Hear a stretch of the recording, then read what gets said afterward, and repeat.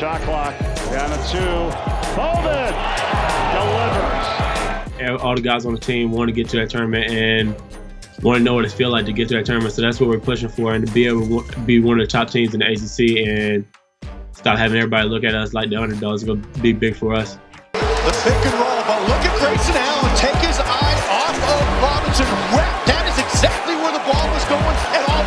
That, that was big for us. Uh, just to know that we're capable of playing against the, uh, the top teams in the league is big for us, knowing that now that we have more than five uh, ranked teams in our conference, that we got to go out and give our best every night, and it shows that we're valuable to be number one, be number two. We lost by one at Virginia versus Virginia, uh, so just knowing that we're not we're not that short away from being one of the top dogs in the ACC, so trying to stay our heads and keep the course.